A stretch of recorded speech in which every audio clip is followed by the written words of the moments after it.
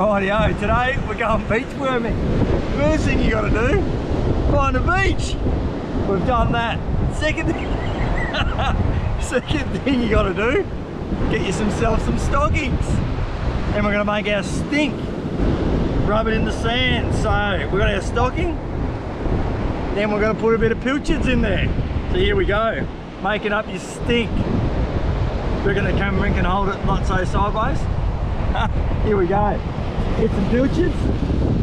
One, two, three,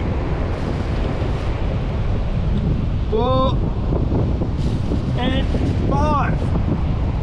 There's our stink, all right? Now, follow me down here.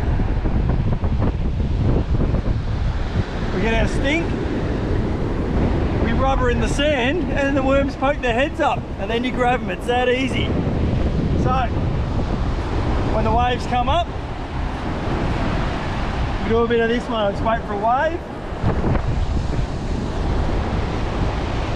Worms will see the stink, and hopefully they'll pop their heads up. That easy. Some people like to catch them by uh, fingers, like the young fella over here, but I'm not all about the pliers. Now when you find the worms, that's the easy part, getting them up's the hard part, but we've just come down to the beach here, because we found sand, we found water. Now, if I do this, brings a stink up, and look, they're all worms poking their heads out. Down there, look, they're right in there. There they are. Worms poking their heads up. There he goes, there he's grabbed it. And then you get your pliers on, but I got a GoPro in my hand.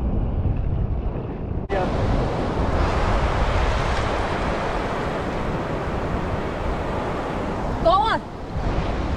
Camera. There you go. A beach worm. Whoa. There we go, beach worm. First one. First one for me anyway. Another beach worm. Beaten dad.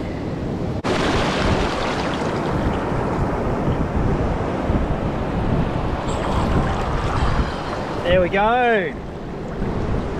Go on. Woo! Seriously, if you want to learn how to beach worm, check out Roger Osbourne's videos. Bye. Like and subscribe.